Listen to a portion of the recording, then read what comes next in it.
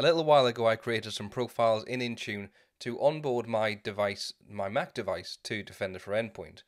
It didn't work because I had missed a step, and so I created a new video explaining how you do that. Check out that video if you're interested. Once I got this device into Defender for Endpoint, it's now time to start configuring it so that it gets antivirus configuration from Intune. Let's take a look at how we do that. From the Intune Admin Center, here's my Mac, and if we head into Defender for Endpoint, hopefully we'll see this Mac device also in Defender for Endpoint. Just choose Devices, scroll down, and we should see Dean's MacBook Air. There it is there. Active, healthy, ready to go. Now we need to push some configuration to this device. I'm going to choose to go back to the Intune Admin Center. I'm going to choose Device Configuration. You can see we have a few device configurations here, but not anything to do with actually configuring antivirus. So, endpoint security, let's choose antivirus, scroll down to create policy. The platform, in this case, is macOS, and the profile, you can see we've got a couple of options here. One of them is configuring antivirus, the other one is configuring antivirus exclusions. I'm going to go with antivirus first. We'll choose antivirus preview, choose create, and we'll give it a name. Choose next. And let's take a look at the settings we have available to us. So the first ones are cloud delivered protection features. The options for this one are disabled, enabled, or not configured. Not configured will mean that it's set to on by default, but the user can turn it off if they like, like I did in the previous video. So for now, I want to choose enabled because cloud delivered protection for Defender for Endpoint is really important because a lot of the features that we're getting from that expensive Defender for Endpoint subscription and are enabled through cloud delivered protection. So we'll turn that on. We also like giving back. So let's do automatic sample sub submission, anonymized samples of threats that have been found in the environment are sent back to Microsoft to help your organization and other organizations from a security perspective. Diagnostic collection level, this is where we can say that we want to give Microsoft information around just the required elements or also send the optional elements of diagnostics to Microsoft to help improve the service. I'm going to go with optional. And do also do we want to enable automatic security intelligence updates? That sounds like a good idea to me. Let's let's enable that. Okay, so the antivirus engine itself, we want to enable real-time protection and also configure this to not be running in passive mode. I don't have any other antivirus solution on my device. So I want to make sure that Defender for Endpoint is running in active mode and actually defending against threats.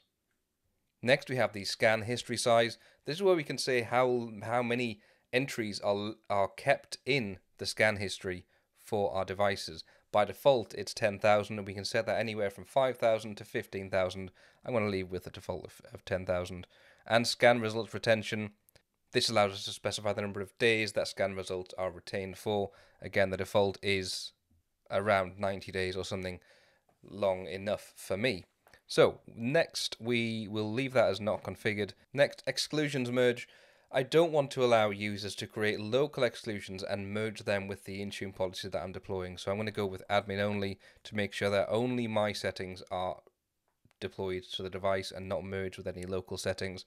In my view, that could be a threat against the device. Scan exclusions, I'm not going to configure any exclusions. In this case, I don't really know what I'm going to be using on this device, so we need to do some discovery on that in the future. And threat type settings, we get to specify exactly what action we'll take in the event of a threat type being discovered.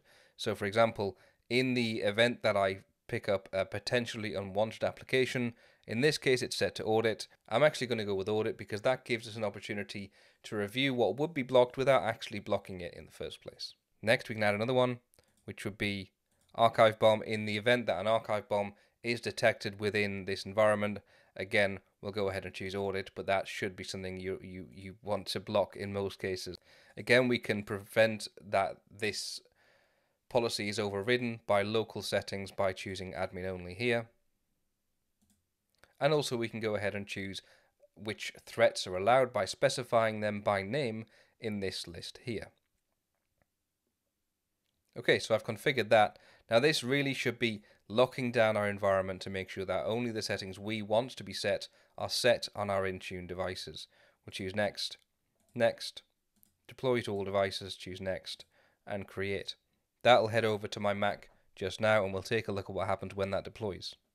Just going to go over to the, my Mac and choose to sync.